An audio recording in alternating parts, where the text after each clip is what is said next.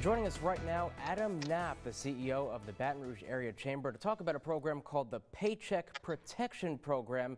Obviously has a great name amid these quite confusing times. Adam, thank you so much for joining us here.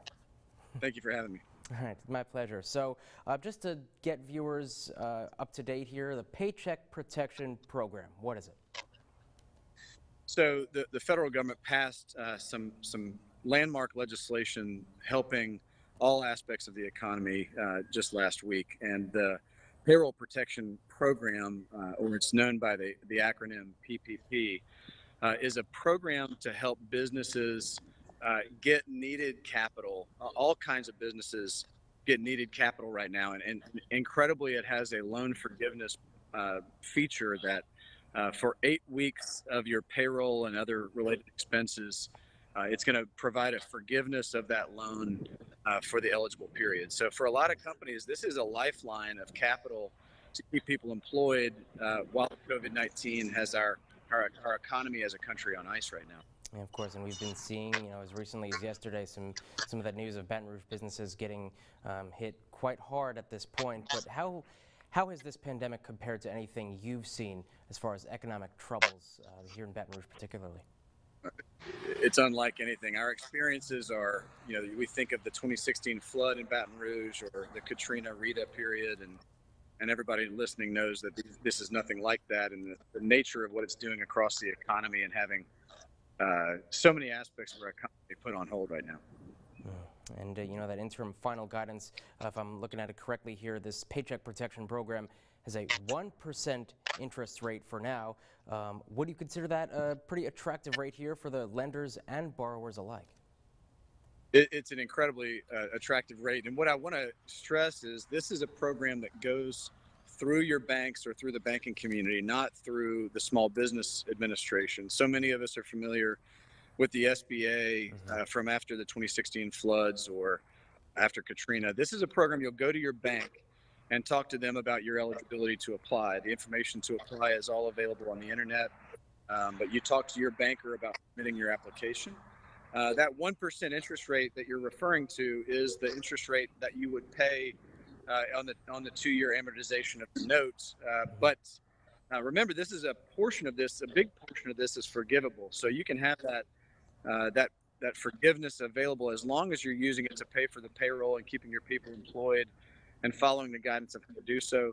The application is quite a simple application, uh, but talk to your banker about how to get access to it. There's the most important step is get in touch with your banker about how to take advantage. All right, certainly. And that list of uh, bankers, uh, the ways to apply, uh, how can businesses apply at this point? Are there, there, forms online available? How does that conversation the, the, So I, I, would encourage folks, after you talk to your bank, they will have the applications. You can find them on the internet. It's the same application for everyone uh, the process you go through and you work with your banker on their their process for how to submit it. But you can do that today. It opened up yesterday on Friday uh, to be able to take advantage of it, and, and you can start submitting immediately. Um, we encourage everybody who needs it, who sees that critical path uh, necessary for them, uh, to go and investigate whether this is the right answer for them. Uh, the, the the website that I want to give everybody that has a lot of recovery information, including the details about this program is our website for the, the Baton Rouge Area Chamber, uh, www.brac.org backslash recovery. If you just go to brac.org, you'll see the link for our recovery information. A lot of information up there, including the application for the payroll protection program. Hmm. Obviously, just one resource that uh, business owners can utilize at this point. Now, beyond this program, what will it take for businesses to bounce back here?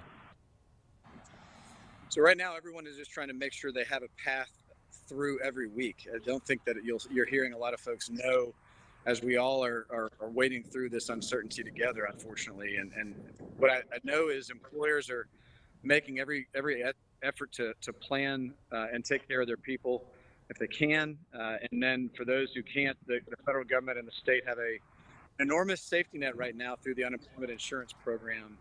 Uh, and that has been a, a critical lifeline as well for those workers that are seeing their hours reduced, getting furloughed, getting laid off, that they're applying for the state unemployment insurance program. Uh, and those checks have been have been rolling out uh, this past two weeks as well, uh, getting cash into people's hands who are personally being impacted this, and so many right now are hurting from, from the impact of this. We are hoping, of course, that at some point soon the economy could reopen, but first and foremost is the safety of the community, and uh, and so that's uh, that's what employers are trying to do is make sure that they have the the capital to be able to keep going, to pay their people, to find a new way through, whether it's pivoting their company, being able to work remotely, uh, or or somehow making it through. We're, we're, we're seeing so many people try to try to plan that ahead, but it's still very uncertain. And we've seen businesses in this time, of those who are still um, afloat some way or another, trying new ways. And you mentioned the word pivoting. I think that's crucial at this point, uh, be it through telemarketing or telecommunications at this point, or just other ways of doing business. Are there lessons here? Are there practices here that we can continue once, thankfully, all this pandemic is done? Yeah, I absolutely think that's that's going to be the case. I think you'll see whether we think about the, the behavior of, of eating out at restaurants going to more takeout in the future, uh, the pattern of being able to, to order and deliver goods and services uh, through a, a, digital platform. I think you're going to see that be a more common consumer and business to business method of a transaction. Um, and, and the likelihood that a lot of us will, will work and telecommute more in the future after this, after we all have been given such a uh, a rapid education on how Zoom and digital meetings are taking place and how to how to make virtual meetings easier. Uh, you'll you'll see, I think, more of that after this. But I think it's still too early to to think about what's next. Right now, everybody's trying to to focus on the near term, trying to keep as many people employed as possible, trying to help those businesses learn how to pivot. You know, their teams or their people or their services or their sales. Mm-hmm. Yeah, keeping afloat day to day with help of the community. So, Adam Knapp, thank you so much for your time tonight. Thank you for having me on. And, and again, plug our website for resources uh, where businesses and employers, uh, employees can find information about how, mm-hmm. how to get through. That's it. And brac.org, is that right? brac.org and then backslash recovery for all of our recovery resources. We're updating it daily. All right, Adam. Appreciate your time. Thank you again. Thank you for having us. All right. Take care, folks. Fox 44 News, first at 9, comes back in a moment.